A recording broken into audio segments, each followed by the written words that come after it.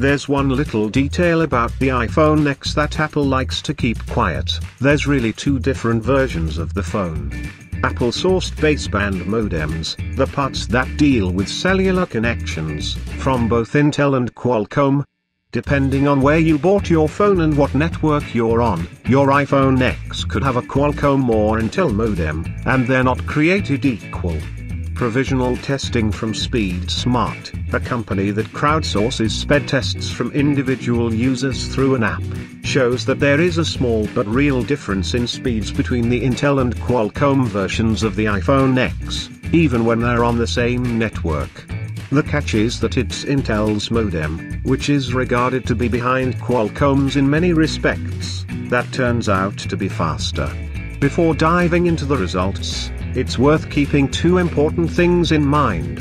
First, these results aren't conclusive, the data only measures speed, not variables like location, cell signal, or LTE bands, and the sample size is still small, as the phone hasn't even been out for two weeks yet.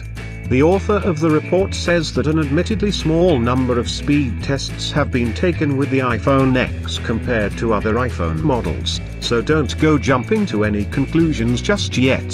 The second thing to remember is that Apple has artificially limited Qualcomm's modem to reduce any performance differences between the Intel and Qualcomm phones.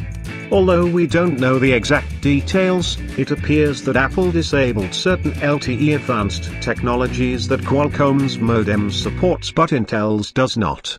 Given the complexity of modem design, that could have slowed regular LTE performance on Qualcomm's chip as well.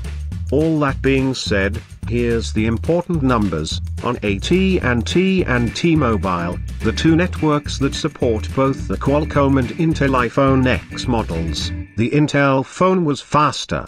On AT&T, Intel iPhone X averaged 30.13 Mbps, while the Qualcomm iPhone X averaged 27.46 Mbps.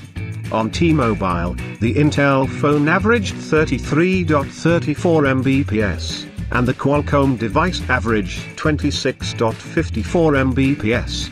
That's the opposite result to what Cellular Insights found when it tested the Qualcomm and Intel iPhone 7 Plus models last year.